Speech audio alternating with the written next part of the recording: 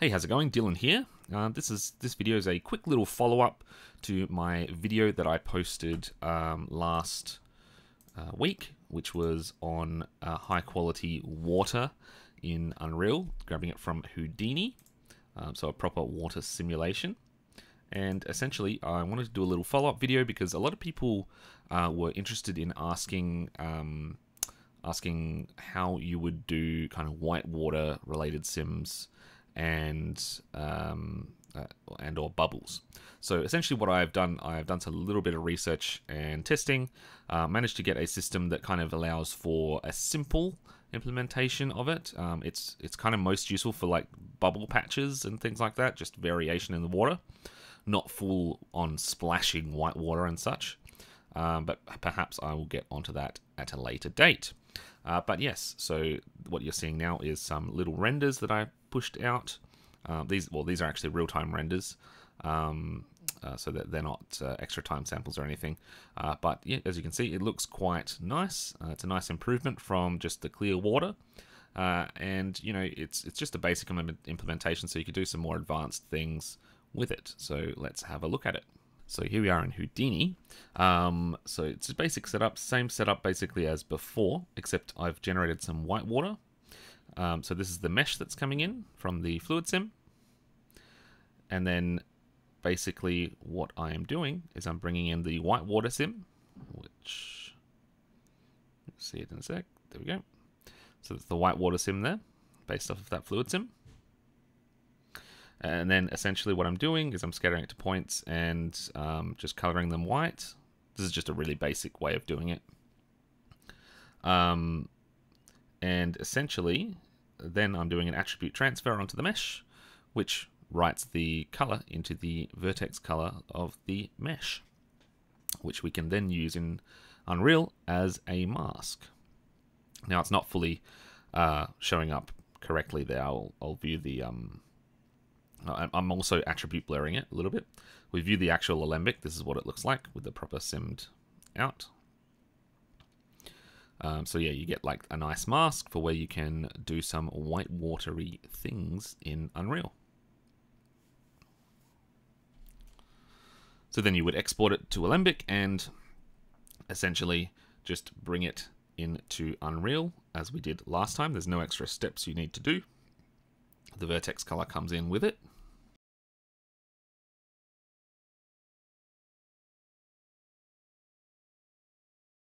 Okay, so here we are in Unreal. So this is a sim that I uh, prepared earlier. Um, so this one here is a similar one to the original one I showed. It's a this particular one is a I think it's a one only a 100 frame loop, not a 200, just to save on space. Um, but this one here has that uh, vertex color data baked in, which you might be able to see if I stop, turn off the motion blur. You can kind of see what's going on. Doesn't look amazing in this view, obviously, but it's, it's all about how it looks in motion. Um, so essentially what I've done is inside the material,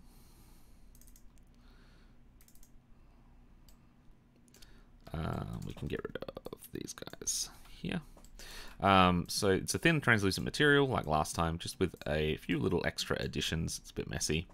Uh, but essentially, the gist of what I'm doing is I'm grabbing the vertex color, just the red channel because it's in all, every channel that we output, and multiplying that by a uh, randomized moving noise here. It's just quite, quite a simple setup. Uh, with just to break it up that little bit more and kind of give more of an appearance of bubbles. And then I'm actually piping that through a height to normal smooth node um, and blending it with the vertex normals uh, to create some like difference in refraction and the, the actual normal response. Um, essentially, what I'm aiming for in this instance is a kind of bubbly look, um, or almost kind of white water, but more towards the bubble side.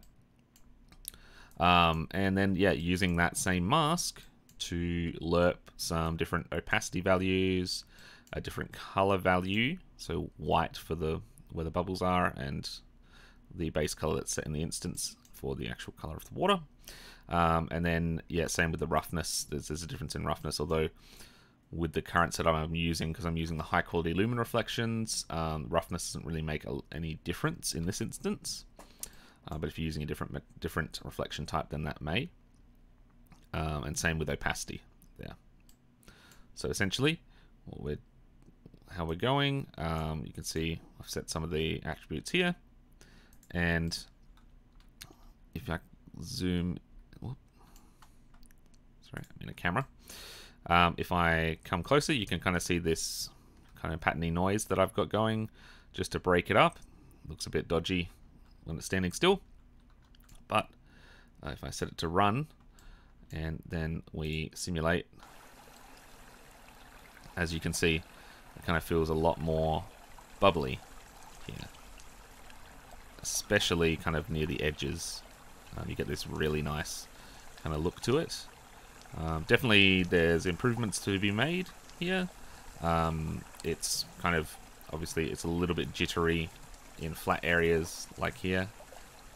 Um, and you can see down here that it kind of looks a bit strange. And that's mainly, uh, that, that can mainly probably be fixed if I simmed this out at something higher than 24 frames a second. Um, because the vertex color stuff doesn't get interpolated uh, between frames in um, in Unreal, whereas the actual geometry does in the geometry cache import process that we covered last time. So essentially, that's how I kind of got this basic, very basic kind of white water going, but you know, it's adequate. It looks quite nice here. Sorry for the frame rate. Um, there's a bug at the moment when I stop moving the camera, the frame rate drops for some reason uh, in the current build of Unreal I'm using. Uh, but yeah, look like, I mean, the side on to that kind of water coming down from the pipe uh, looks quite nice. Um, and you get like the, all these nice little, little accents of white and refraction, especially over this side, uh, which feels quite, you know, pleasing. Get a little bit of it down here as well, I believe. Yep, on the side here. So, yeah, essentially that's how I went about getting some basic white water uh, or bubbles into the setup. Um, I'm hoping to kind of test proper white water like splashes and stuff, but probably a little while waiting on that. I'm pretty busy at the moment, but yeah, so I hope you enjoyed this little look at implementing uh, some bubbles into the Sims with uh, for the technique that I covered in the last um, video about water. If you enjoyed, leave a like and hit me up on Twitter um, over at, at DylserX. Um, always happy to have a chat about these techniques. Uh, this particular sim, you might notice my frame rate is a bit low. This particular sim is very high res. Um, it was this is kind of like a more cinematic, uh, pre-rendered resolution um, that I just had handy to, to demonstrate how the whitewater works. You could obviously do a low res sim and it will run a lot better than it does on here. But also there's a lot more going on here. There's ray tracing going on and all of that fun stuff and such. Alright, till next time, take care and enjoy it.